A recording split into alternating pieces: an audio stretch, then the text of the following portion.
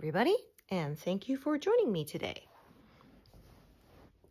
So we're, we have reached the uh, far right-hand edge of the very first pass across this uh, pattern.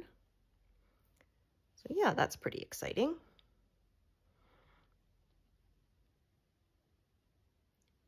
I figured I would reach it by the end of the month, so I think we may even get the uh, the beginning of the next pass across the pattern uh, this month.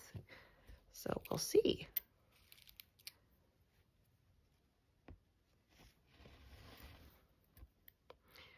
Yeah, so it's kind of a gloomy day today here. It's overcast and foggy and so there's no blue sky or sun to be seen. So yeah, I hope it's nicer where you are. At least it's not that cold.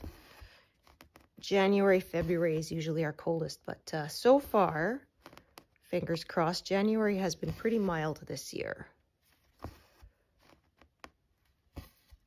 But we'll have to get through February before I can say that it's a milder winter.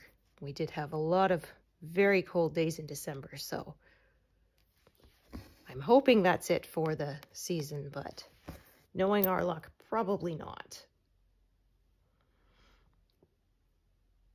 Okay, 838.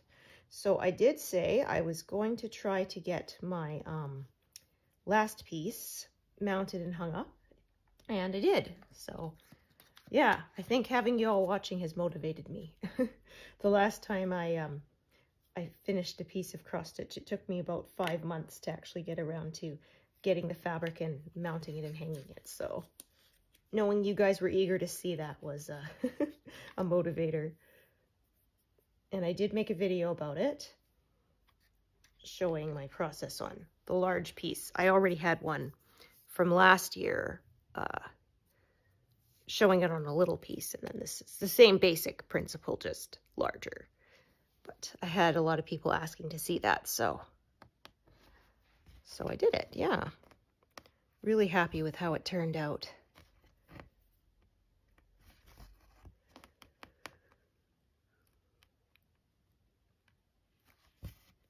Yeah, the only thing is it's kind of hard on the back because of having to bend over ironing.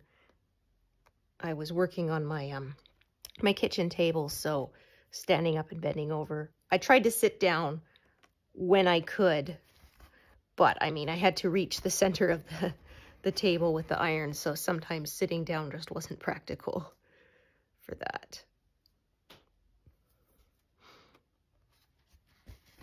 But uh, I've done them on the floor too, because um, my uh, Geisha Ladies one, the uh, Oriental Triptych from uh, Heaven and Earth Designs was too uh was too wide to fit on my table. It was hanging off the edges, so I had to do that one on the floor. And yeah, my back really didn't like that, but but it was a nice finished product, so I was happy with it. Okay, that one, that one, that one. Okay, yeah.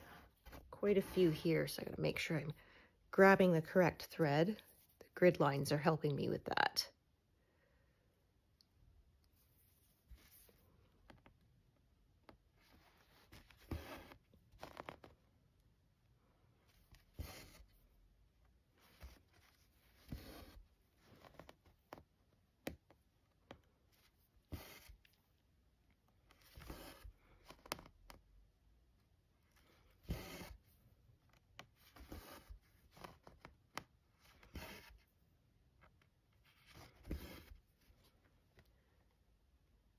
Okay, so I can end this one off.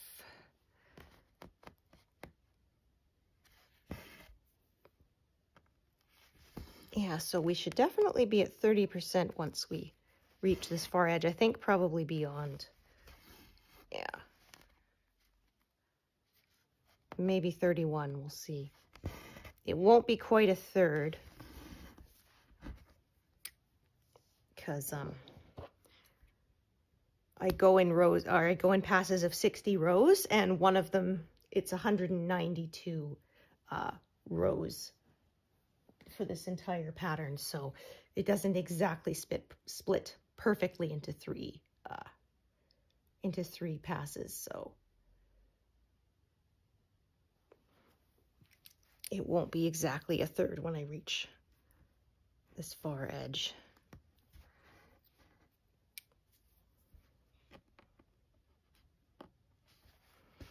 And then, yeah, I uh, did a video showing how I handle the large blocks of color because uh, I had some people saying they wanted to see that. So, yeah, there was a tutorial I did for that.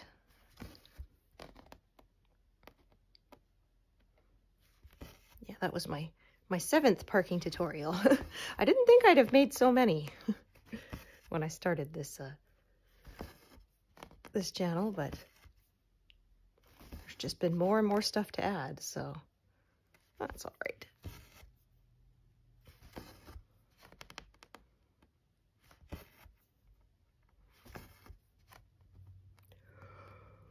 Ooh, my goodness, pardon me. yeah, getting back into the uh, the routine. And poor kiddo's got uh, midterms coming up pretty soon. But then one of the nice things is uh, for four out of the five days, his exams are in the afternoon. So we won't have to get up early those days.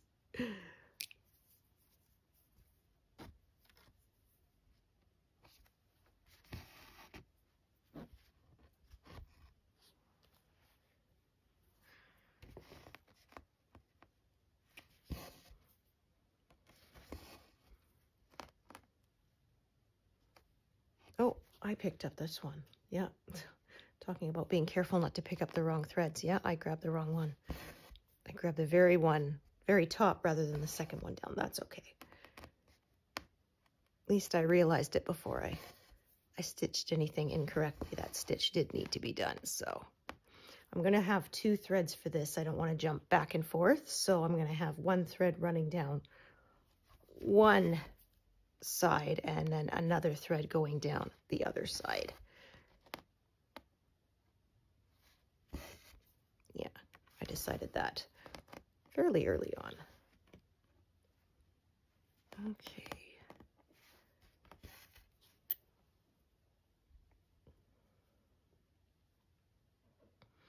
All right, now I'll pick up this one that I thought I was picking up last time, but I actually wasn't.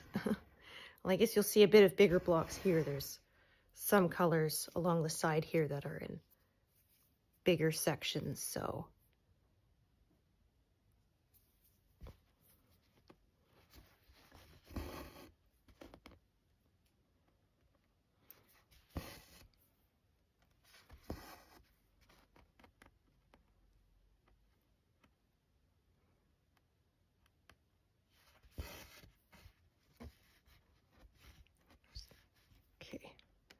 Thought might be a knot on the back, but there wasn't, thankfully.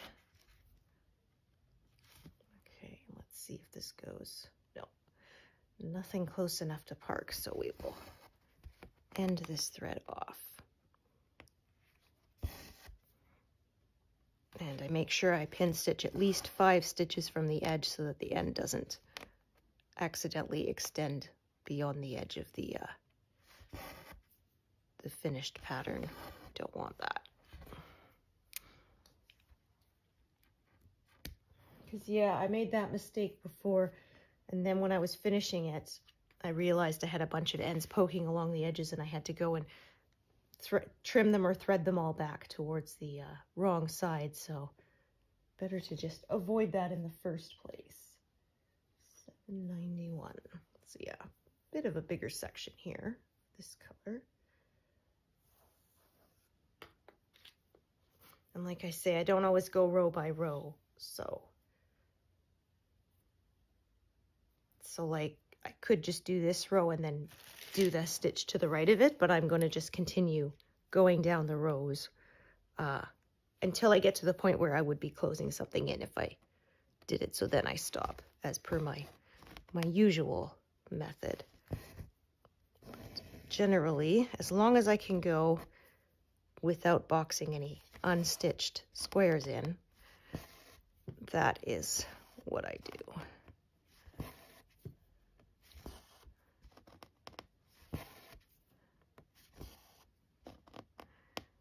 Yeah, so the days are supposed to be getting longer, but oh, yeah, we are still in that dark, dark part of winter.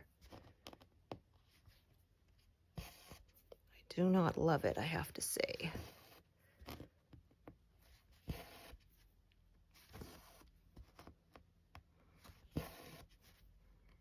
And then, you know, Christmas is over, so it's just kind of blah.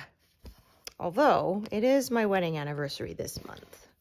Yeah, it's our uh, 21st, which is just so hard to believe because um, when we first met, my um, my husband's parents had celebrated their 25th wedding anniversary like a year or two before. And then it's like now we're past 20 years. Like, how the heck did that happen? It is just amazing how fast time flies. Oh, is it not this time. Let's see if we can, ah, good. I was able to get it to release. Yeah,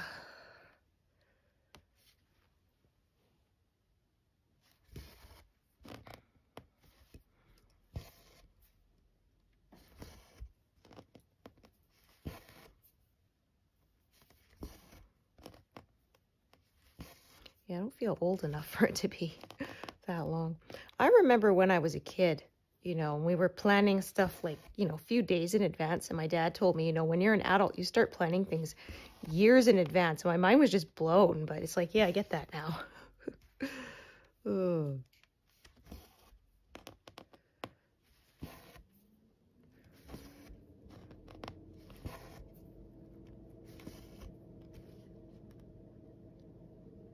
This thread is really wanting to knot up on me.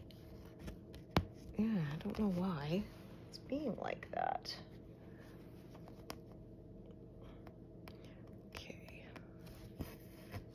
There's a tiny knot. Not enough for me to want to uh, cut it out, but I'm to sort of leave a little bit of a longer carry on the back to ensure that that knot stayed on the back. Yeah, I don't know how that managed to do that.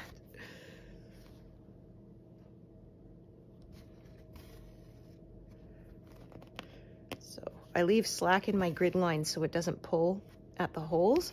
So you have to be careful because sometimes when you get closer to the edge, it uh, the slack could confuse you. So yeah, because I had one time, everything seemed to be off by one row, but no, actually it was my grid line had pulled a little loose and uh, yeah, my stitching was correct. The grid was not. So I usually avoid stitching across the grid line, but this time I'm going to put a stitch over it to kind of hold it in place where it should be. I've got sort of a big slack bit there that I can easily remove it later. But yeah, sort of across the middle of the piece, I try to avoid stitching over the grid, but at the edges, sometimes I do it on purpose just to keep things secure, squared off. Okay, so a few more rows. We may run out of thread before I run out of stitches here. We shall see.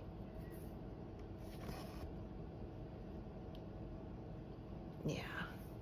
I love the look of confetti after it's done because it gives so much detail, but yeah, stitching larger sections is satisfying because it stitches up so quickly.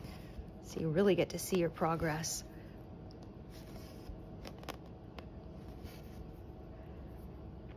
Yeah, because if I don't get this all filled in today, which is possible, as I've said, there's not much confetti here, I will get it tomorrow, I should think. Oh, we got a big uh, dump truck going by with two trailers full of snow, so yeah, they uh, they cleared the cul-de-sac around the corner. Now they're having to haul the snow away. Yeah, we just get too much that you can't just shove it to the sides. It's got to be actually trucked away and dumped outside of town. Yeah, it hasn't been as cold this winter, but there's been quite a lot of snowfall. It's supposed to start up again next week. Yeah, fortunately we have a snowblower, so. Yeah, after, you know, five or six of these uh, prairie winters, finally, my husband just said, okay, I'm done. We need to get a snowblower. Uh, yeah, it's kind of a necessity out here. It was funny because I remember a coworker, you know, we were saying, oh, there's going to be another, you know, freaking, you know, eight inches of snow tonight. Just said, oh, you know, that's not much. And I'm like, yeah, well, you live in a, you know, in a condo, right? She's like, yeah. I'm like, yeah, so you don't have to shovel your snow. It's like, oh, yeah. It's like, yeah. You have to drive in it, but you don't have to. Yeah. And they had underground parking, so she didn't even have to worry about clearing off her car. Said sometimes I spend more time scraping ice off my windows than I do actually driving anywhere. Because it takes, you know, 10, 15 minutes to drive across town, generally. We're pretty lucky we don't have much of a rush hour here. Yeah, the only time it's a problem is when you get stuck behind the train. Because um, when they were putting the train in, they didn't put in any kind of overpass or anything. And, uh, well, now it would be too expensive to do it because they would have to buy a whole bunch of buildings that are, you know, built around that intersection. And, uh, yeah, it's just, it's too expensive for them to do that. So sometimes, yeah, unfortunately, when you're late, it's not stuck in traffic. It was stuck behind the dang train.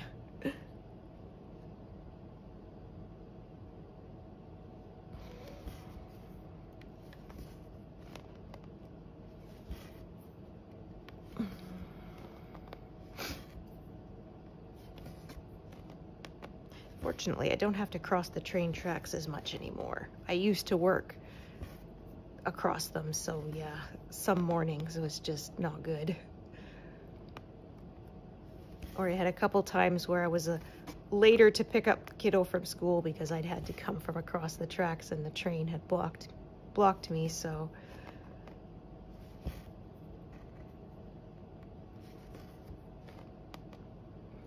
pretty frustrating too because a lot of times, for some reason, I don't know why they have to go back and forth across the intersection several times and they don't go far enough to like let the cars. So you're sitting there going, okay, it's backing out of the way. Okay, the gates are going to lift pretty soon. And then, nope, they reverse and go the other direction. It's like, oh, okay. So they go back the other way and you think, okay, maybe they'll let us out. Nope. Then they just turn and go back the other. It's like, come on, guys. I know you have a job to do, but you know, we got places to go too. or I had one time they backed up and stopped, but they backed up like not quite enough for it to trip the uh, the gates to open. So we're just sitting there. Finally, I started leaning on my horn like, you guys, back up three more feet for Pete's sake, you know? And then they, they did. I guess they didn't think of it, but it's like, come on, guys. You're not actually in the intersection, so yeah, if you're gonna stop it, stop it far enough back that the darn gates open so people can go. Because, yeah, sort of once you get in that gridlock, it's not like you can back up and leave. I had a couple times I was lucky enough that I was able to make sort of a right turn and go back out to the highway and back the other way. But, yeah, sometimes that's just not happening. If you're far enough back from a corner, you can't turn right. So you're just stuck there waiting. It gets bad enough sometimes you just put your vehicle in park so you don't have to sit there with your foot on the brake for 20 minutes. Ugh. Yeah, so we always say, you know, don't try to cross those tracks when you're low on gas because if you get stuck behind it, you might run out. That would really suck. People would not be happy with you. That's for sure. Okay. Oh, oh shoot. I forgot that one. Oh, did I put this in the wrong place? What did I do here? Oh, yeah, I put it right there. That's in the wrong spot. Ah, silly me. It should have been down here. Aha. That's what I get for talking while stitching, hey? oh. Yeah, I did that wrong. In the wrong corner. Very carefully. Just cut that one, th those threads and nobody, none other.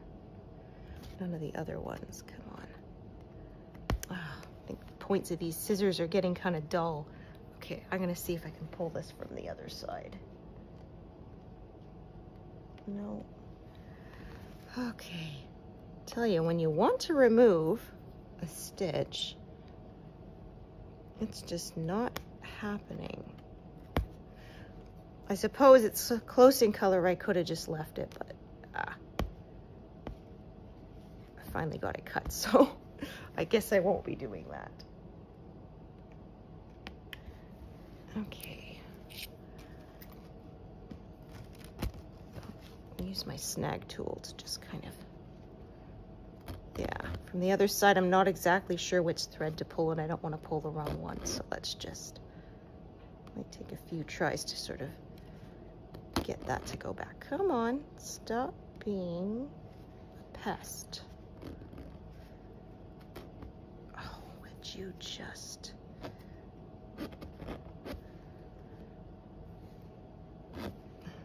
There, okay, I think we got it now.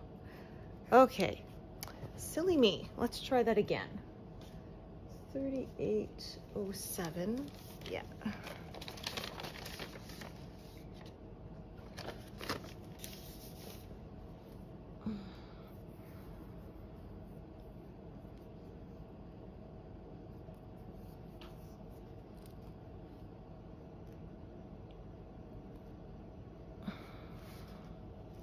Okay, it's this one here, yeah. That's what I get when I don't double check with my uh, my grid lines. I make mistakes.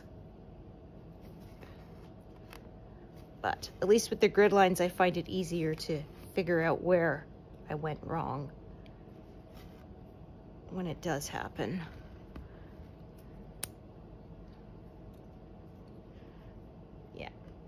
Okay, because yeah, when I went to pick up this one here, there was an empty gap above it, which there shouldn't be if I had done it correctly, so. There, all fixed.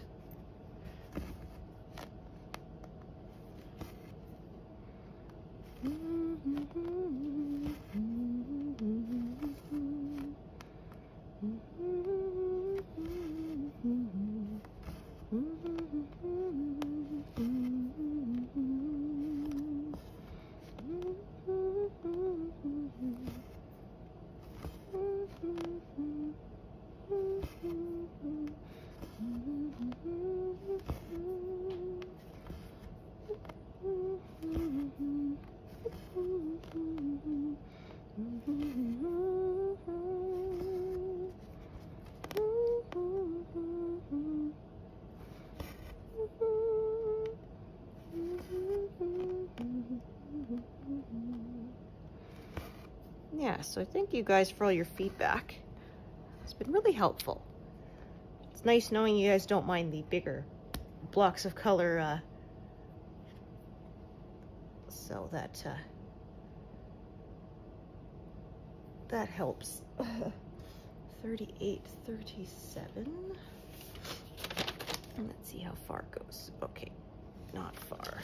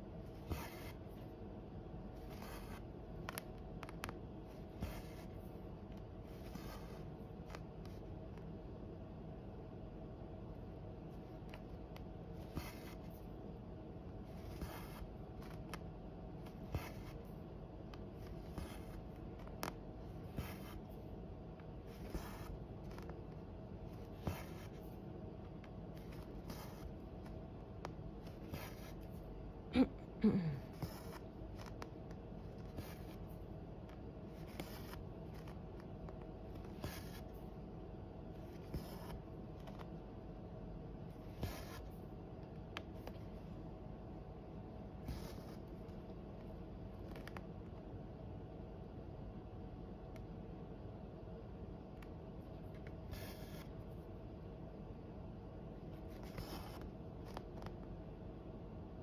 I'm not really sure what this bit I'm stitching here is from the mock-up.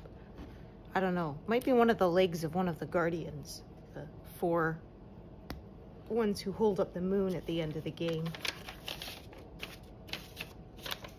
Yeah, um, I think it was Luigi Brothers said based on Link's height, which they figured out in Ocarina of Time, um, from the uh, the measuring thing in the um, the Zora house, uh, that the uh, the big giants at the end who hold up the moon in Majora's Mask are like 80 meters tall or something. Yeah, it's pretty wild.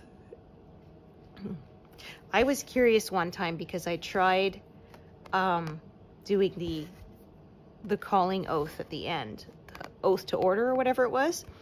Um, when I only had three of the four giants uh, released just to see what happened, yeah, the moon still falls. get the, you've met with a terrible fate, haven't you?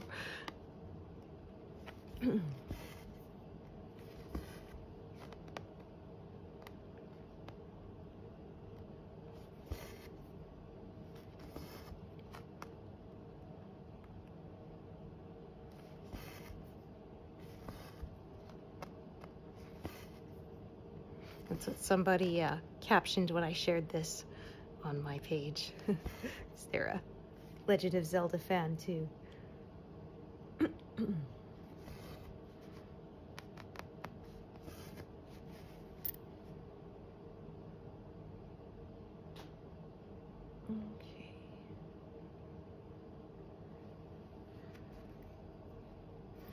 Okay, I think I'm only going to get a couple more stitches and then I'm going to start a new strand for this bit. What I may actually do is go back up to the top for a bit and work some other colors. Work my way down. So yeah, I could decide to just keep carrying all the way down along this this uh, diagonal towards the bottom, or I could come to the top and work down a bit more too. Just depends on my mood, I suppose. Okay.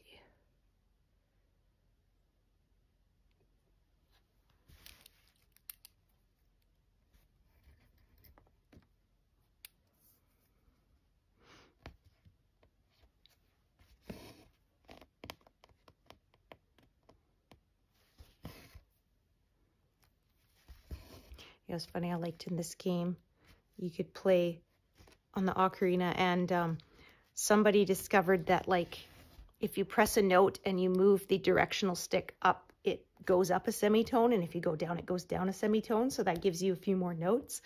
And uh, I actually found some online that showed you how to play certain songs. Of course, it's limited because there's only a certain number of notes, not a full scale worth. Oh, and I think if you pressed the R and the Z buttons, it also distorted the sound. So you got a couple other notes that way. But um, I actually learned how to play the the uh, village theme on it. So that was kind of fun.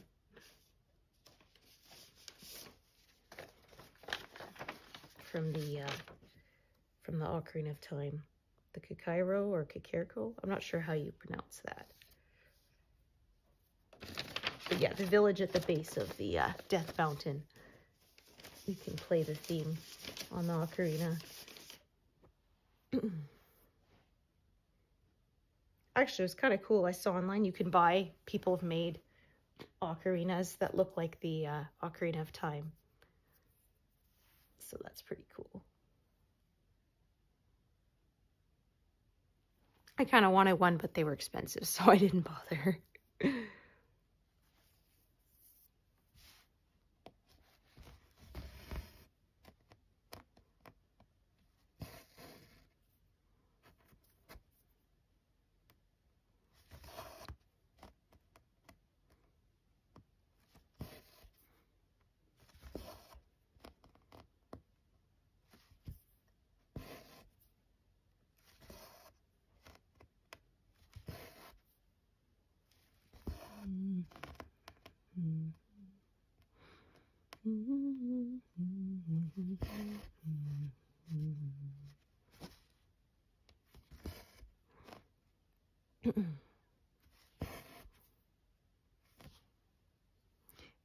Funny when I played it, I always actually named my file Link so that uh, so that all the characters actually call him Link because of course it uses your file name in the game.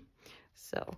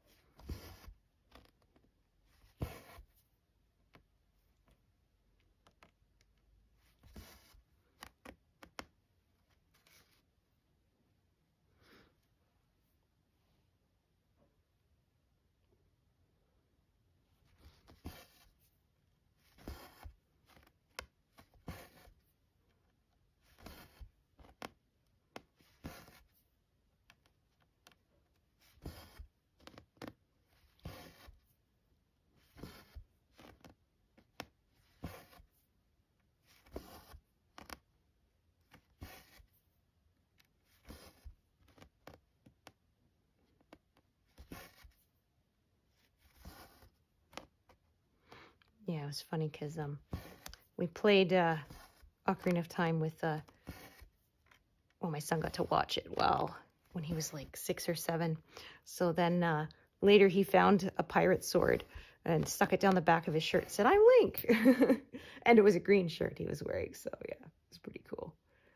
Or he liked to draw different snowman characters, so he made a snowman Link using a key to open a chest. So yeah, it was like a snowman with stick arms, but then it had like his green hat and his shield and stuff. So yeah, it was pretty cute.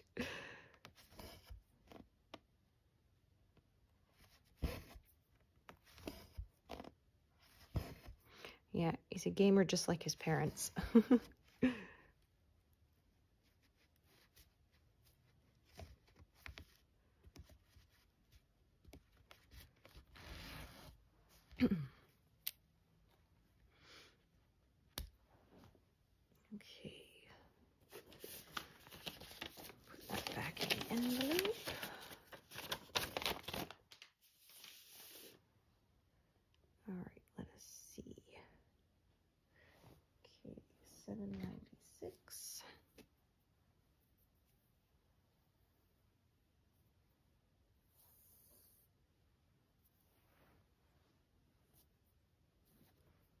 Mm-hmm.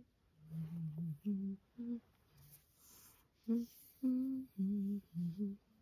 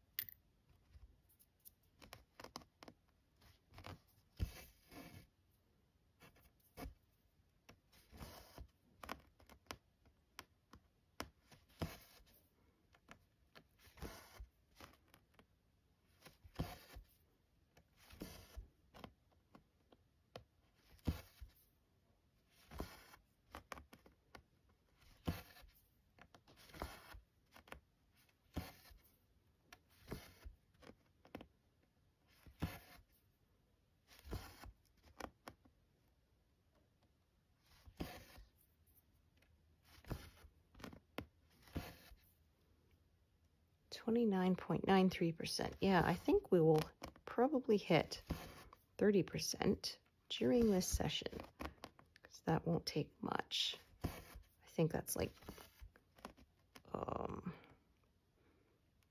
about 30 stitches, 40 stitches, something like that. I'd have to actually sit and do the math. I'm just guesstimating because I'm not great at mental math. oh. Yeah, I really like the fact that we, um, because of smartphones, we always have a calculator available now because uh, I don't trust my mental math even for simple stuff. Yeah, or my problem is if I'm have it has more than two steps, by the time I figured out the second set of numbers, the first set of numbers is gone from my brain. Yeah.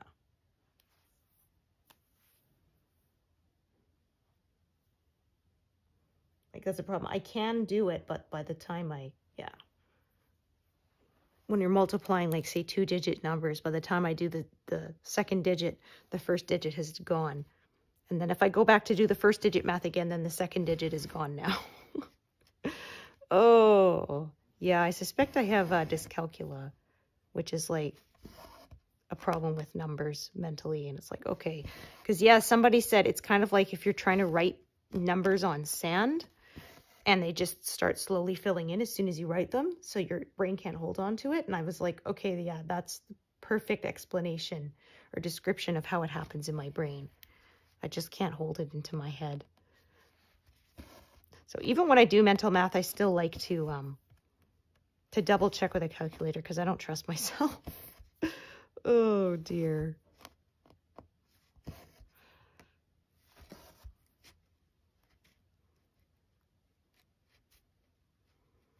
Yeah, I was made to take uh, Math 12 and Calculus in my senior year of high school.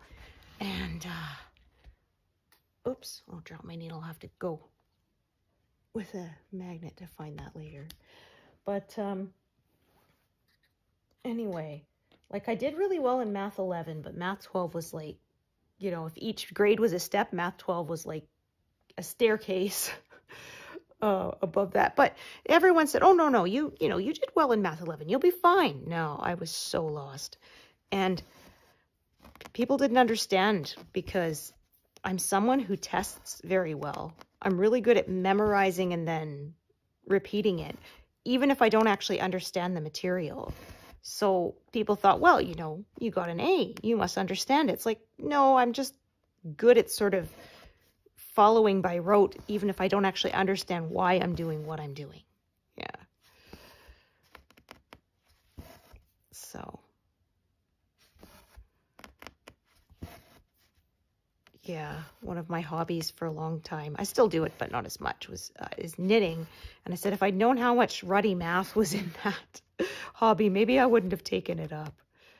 Cause yeah, you know, knitting your gauge has got to be correct if you want your garments to fit. Because, yeah, if the uh, pattern calls for four stitches per inch and you knit at five stitches per inch, your garment is going to be many, many inches smaller.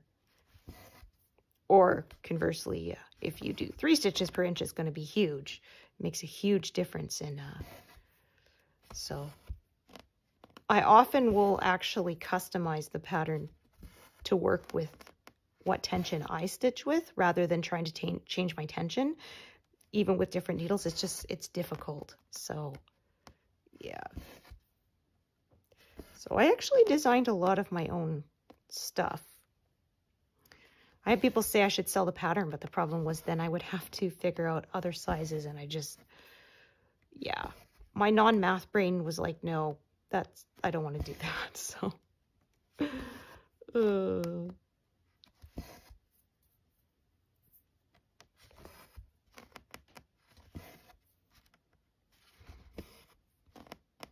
Yeah, but I find I get, um, I get pain in my hands when I knit.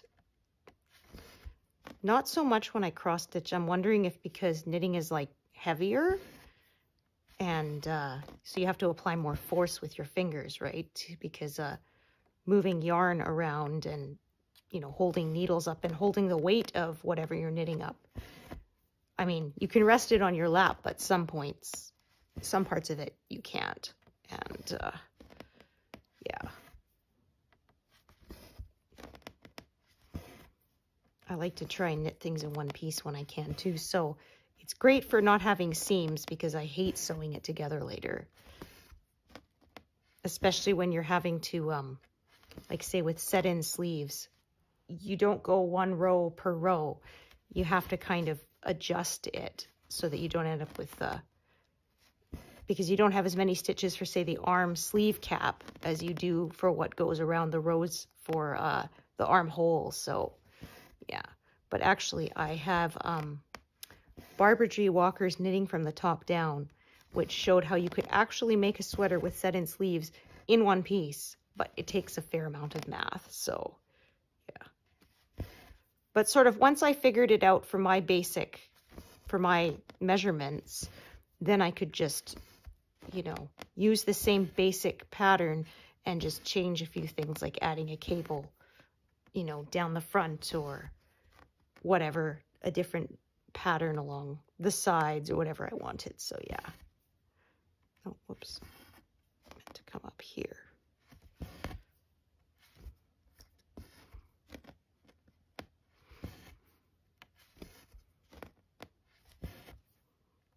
Yeah, and then there's the fun too of um, depending on what fibers you work with, they can change from what you knit them. Like cotton will shrink vertically, generally. So you have to adjust.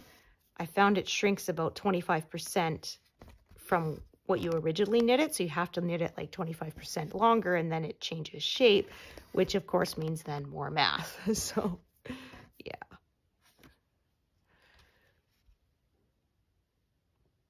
Okay, so on this one here, right? Yes. Okay. And then I'm going to park and do fill in some here to the left of it. Because as you can see, I'm going to want to come down here and do the lone stitches around that edge there so that I don't need to use a separate piece of thread or close anything in. So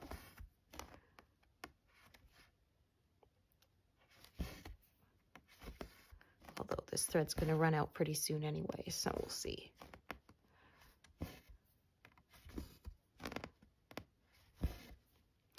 I guess with blankets, there's a little, knitting blankets, there's a little more uh, wiggle room, but yeah, knitting garments, there isn't if you want them to fit properly.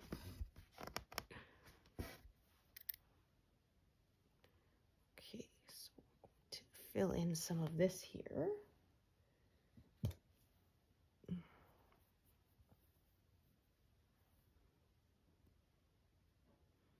This was the one I said I could have continued with this color, but I went up to the top. And now I'm going to continue with this color and then probably come back up again. So just kind of rise and fall along that diagonal edge sometimes. So I'm going to do this one. trying to move it there. And then I'm going to do, I think, the next three rows because I want to be able to do all those sort of half filled in circle stitches at once. If you've uh, watched me before, you probably know what I mean, what I'm going to do.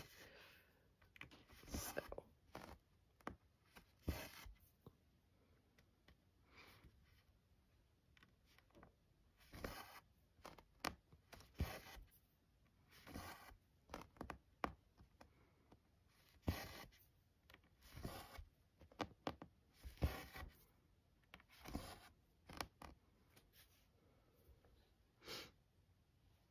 Okay, oops, meant to actually carry on. So I'll do these nine.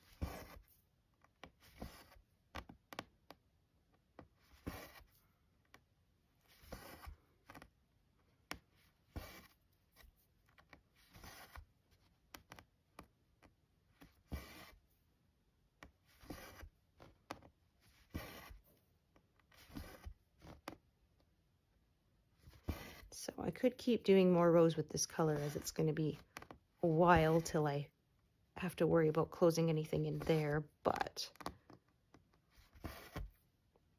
I feel like switching colors now, so I will. Okay, so now I'm going to do this color. Yeah, and we are past 30%.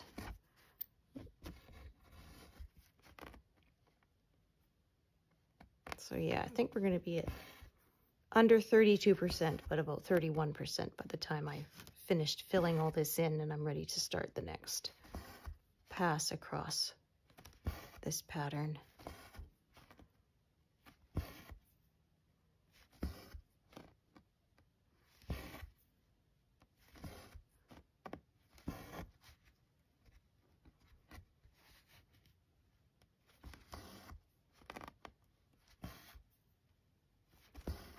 Okay, below. Back up here to the top. So this is why I did filled in that to the left of it because I wanted to be able to do this shape here and not not close anything in.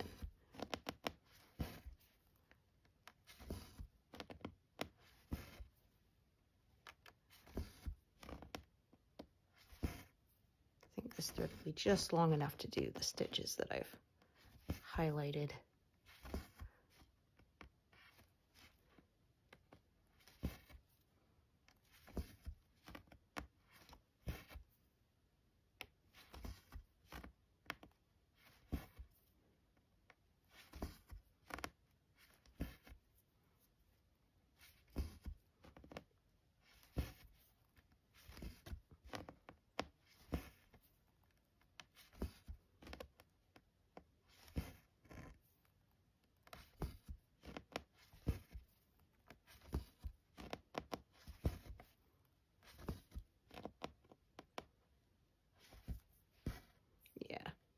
Not enough for this row below. So we're gonna tie off this thread.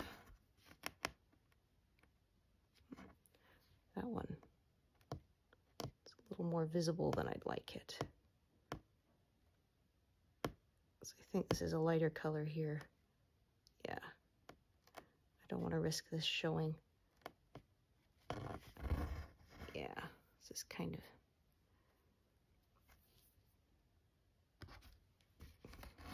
There. There. I did it a little too far to make it a little shorter so that it really disappears into the fabric like that. Then when it's covered up, you will not see it. Okay, so switch colors again. 798.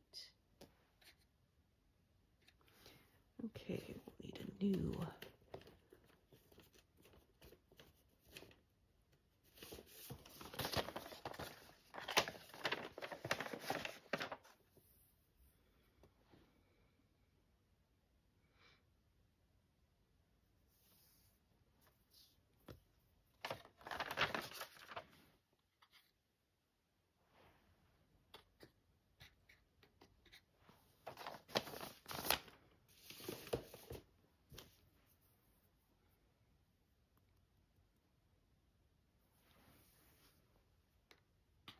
Yeah, I right. This is a lighter color over those pin stitches, so I had to make sure that it really disappeared into the fabric. If it was really light, like a white, I would not pin stitch it there at all, but this is a sort of medium dark color, so it'll be enough to cover them up as long as they've properly disappeared into the fabric. Okay. So, gonna add this color again. Let's see.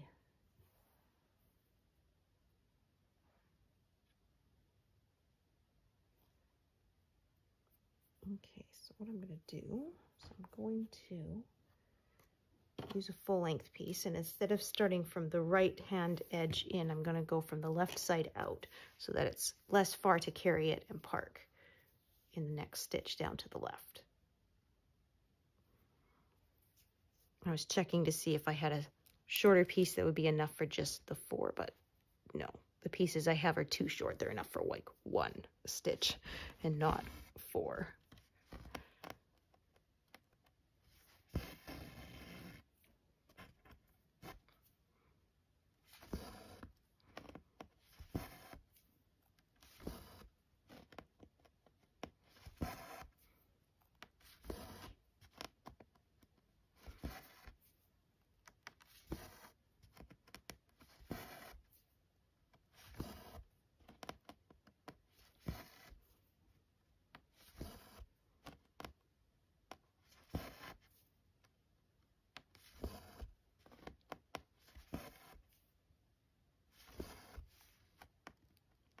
So yeah, this isn't quite a tutorial video, but you can see again how I'm managing bigger blocks of color, still avoiding closing stuff in. But yeah, this, this part zips by pretty quick.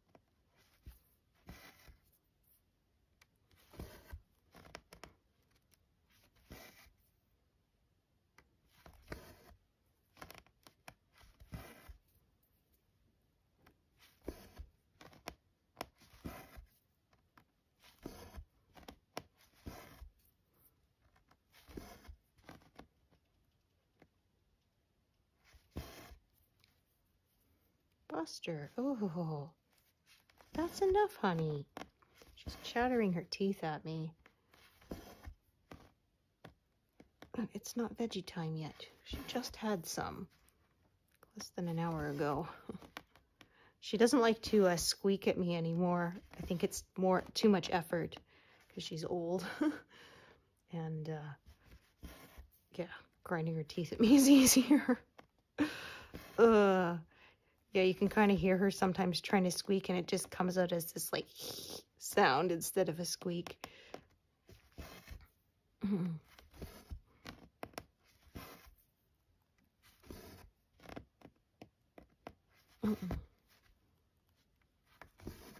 Because young guinea pigs, they really make a wheek, loud squeak, squeaking sound when they want something. She still purrs though, so that's nice. Yeah, especially when you give her a treat. We say it's her way of saying thank you. it's funny though because uh, sometimes get up in the middle of the night to have a drink of water or something, she knows it's not time to be fed, but she's hopeful that it is, so she makes really, really quiet little sounds not full on squeaks. Yeah. But it's like, well, you're up. So while you're up, do you mind feeding me? it's like, well, you're not going to go hungry. There's always plenty of hay and uh, pellets in her in her cage. So, because that's what's supposed to be the majority of their diet. Pardon me. They would eat um, just fresh veg all day, but it's not good for them. They need the roughage for their, uh, not just for their digestion, but also for their teeth, because their teeth continuously grow throughout their lives because they're rodents, so like hamsters and such. Yeah. They need to eat hay and stuff to keep those teeth worn down, or they'll grow too long and cause them problems. Yeah, one of my um, husband's sisters had a really lazy guinea pig, and he wouldn't eat enough hay and his teeth would get so long she'd have to take him to the vet to get them clipped. Ooh, just the idea, you know, of clippers on teeth is just ooh, shudder. Yeah. Because yeah, otherwise they'd actually grow and possibly pierce through their their lips and stuff, and yeah, so that would that would not be good.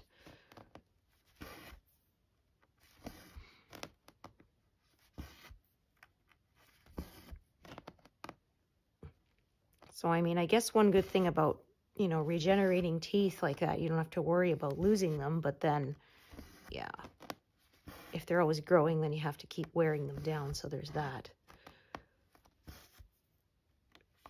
Okay.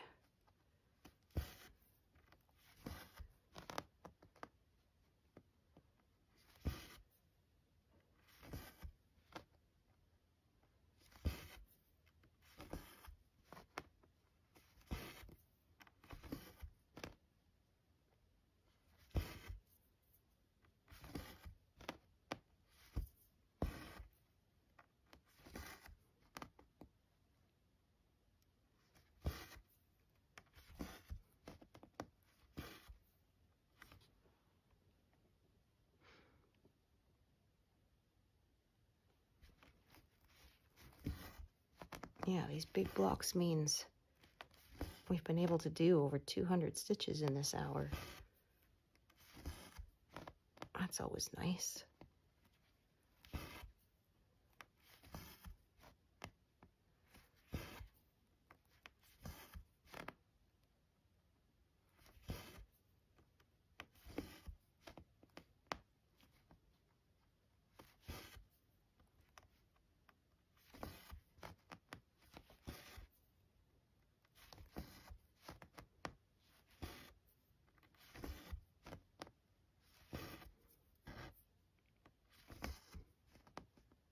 Oh yeah, that's nice. We got all that done today.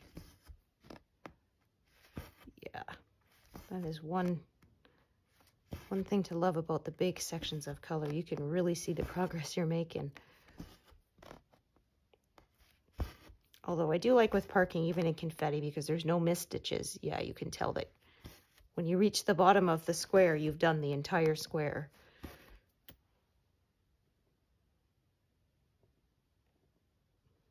Okay, so how about we make this an even 200 stitches before we take a break? You know me, I like my even numbers.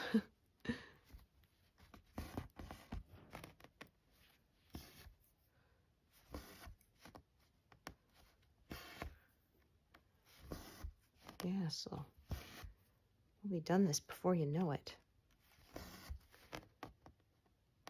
Cause yeah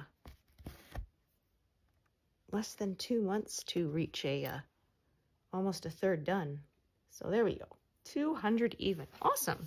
So, um, as usual, thank you so much for joining me today, and I hope to see you here again next time. All right, thanks everyone.